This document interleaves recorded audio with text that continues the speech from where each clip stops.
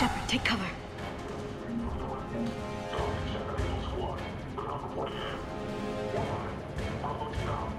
We're still on cleanup duty.